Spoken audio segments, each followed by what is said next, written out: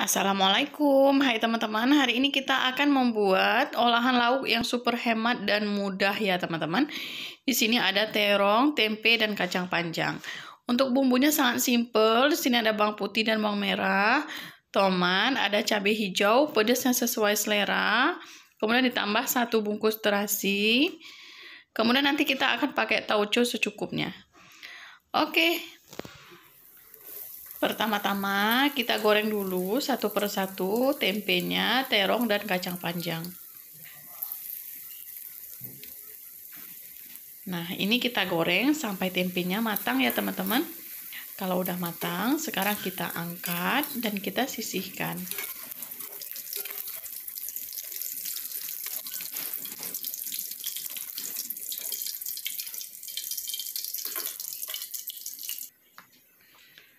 Nah, kemudian kita goreng terongnya. Untuk terongnya teman-teman boleh pakai terong ungu ya teman-teman. Tapi menurut aku kalau terong hijau ini rasanya lebih lemak kayak gitu. Jadi lebih enak.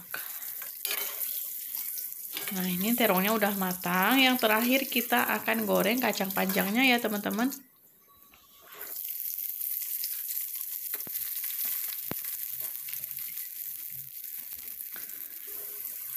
Nah, kalau udah selesai semuanya kita goreng. Sekarang kita tinggal tumis bumbunya. Dan untuk bumbunya teman-teman boleh tambahkan cabai merah atau cabai rawit. Nah, sekarang pertama-tama kita tumis dulu bawang merah, bawang putih, kemudian cabainya masuk aja nggak apa-apa. Nah, terasinya juga. Karena kalau terasi ABC ini teman-teman, ini dia mudah hancur, makanya aku kasih satu aja kayak gitu ya. Nah, ini kita pecahkan aja dalam kuali sambil kita goreng. Nah, dia mudah hancur, teman-teman. Ini kita tumis sampai bawangnya harum ya, teman-teman. Jadi kita kasih jeda sebentar untuk bawang dan cabai ini.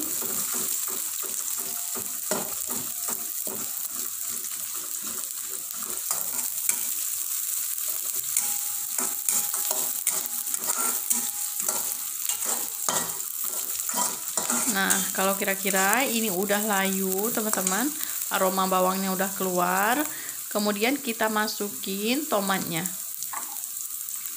Ini tomatnya kita masukin aja. Nah, kita oseng-oseng lagi, teman-teman. Karena ini judulnya hari ini adalah membuat menu yang simple, hemat, dan praktis ya, teman-teman. Nah, di sini aku tambahkan 2 sendok makan tauco, jangan terlalu banyak, nanti keasinan teman-teman. Nah, ini setelah penggunaan tauco ini nggak dikasih garam lagi ya teman-teman, karena tauco ini udah asin. Nah, di sini juga aku masukin masako rasa sapi. Nah, kalau masako rasa sapi ini rasanya lebih eh, enak aja teman-teman menurut aku, lebih gurih kayak gitu ya nah dioseng-oseng kayak gini. Kemudian teman-teman kita masukin aja uh, tempe, terong sama kacang panjang yang udah kita goreng tadi. Nah ini tinggal kita aduk-aduk aja kayak gini teman-teman.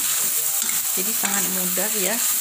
Untuk bahannya aja nggak usah ditulis teman-teman pasti hafal karena memang sangat simple praktis ini adalah menu masakan sehari-hari. Buat teman-teman yang lagi sibuk nggak sempat masak yang ribet-ribet ya. Jadi masak ini aja rasanya juga lebih enak. Nah ini kayak gini teman-teman. Jadi buat teman-teman selamat mencoba. Semoga suka sama videonya. Jangan lupa untuk teman-teman klik uh, subscribe dan hidupkan tombol loncengnya di dapur lezat kakak Isal. Karena nggak ada ruginya loh teman-teman. Siapa tahu menu yang kita bagikan bermanfaat untuk teman-teman semua Nah, ini jangan lupa untuk dicek rasa. Jadi yang apa yang kurang tinggal ditambahkan. Nah, ini dioseng-oseng aja kayak gini. Ini udah selesai, teman-teman. Sekarang kita mau sajikan.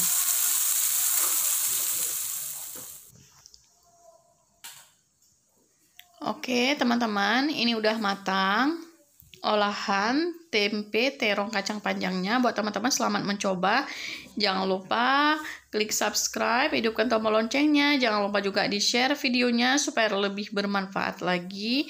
Jangan lupa komen kalau ada yang perlu ditanyakan. Terima kasih. Sampai ketemu lagi di video aku selanjutnya.